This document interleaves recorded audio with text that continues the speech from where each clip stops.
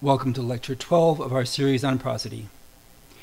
Here we'll cover a few things that prosody does relating to linguistic structures, for example, marking phrasing and boundaries. We'll start by talking about constituency structure. Constituents like prepositional phrases are the building blocks of sentences. For example, above that we might have VP, verb phrases, S for sentence, NP for noun phrase. However, the groupings seen here, the syntactic groupings, are not really respected by prosody. So for example, in spoken English, I could probably say something like, I don't want to go to school.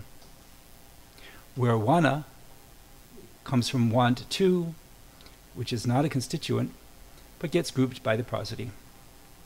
So prosody uses different groupings. Some analysts describe these as forming prosodic words or prosodic phrases. Some researchers have sought to go a little further to describe prosodic structures, sort of hierarchical structures like parse trees, but I think today most agree that there are better ways to describe these phenomena.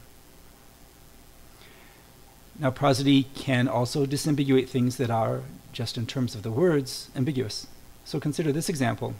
Do you see the ambiguity? Take your time. Right, well, in spoken English, there is no ambiguity. So I can say, when you learn, gradually you learn more. Or when you learn gradually, you worry more. Two ways to describe the difference. We can say there's a difference in boundary location, here or possibly here. And prosody is, of course, good at marking boundaries. Pause length is a big part of it, but not all. Another way to describe this is in terms of a difference in phrasing. Prosody has a role that way too. Lack of pauses within a phrase is a big part of identifying something as a phrase, but there's more. Uh, very saliently, uh, pitch declination and reset are involved. The pitch contours I'm showing here are very conceptual, but they do indicate that people tend to start high and end low. And there's a bit of a reset. So if you're studying a new phrase, you mark the new phrase by going up a little bit. If they're related phrases, the reset may be small. If it's a brand new topic, the pitch might start much, much higher. Also, final lengthening is common.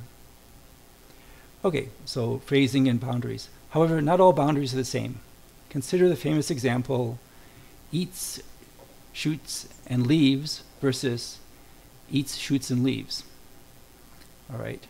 So there's a little comma there, and it's tempting to say, aha, well, there's a comma, it's a boundary, it's different. But actually, a lot more is going on here. Uh, there's not just any kind of break, there's actually list intonation, which is its own thing.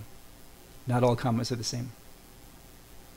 Okay, be that as it may, across languages, many of the same factors are involved in phrasing and boundary marking.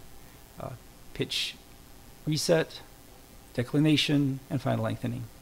Another thing that's expressed similarly in many languages is prominence.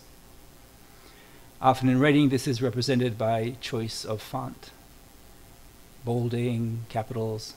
In different cases, this can reflect things like contrast, narrow focus, new information, or emphasis for any other reason.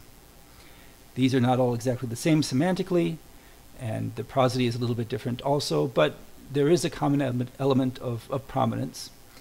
Um, and this is conveyed similarly across many languages. So for example, consider the properties of focus in Mandarin.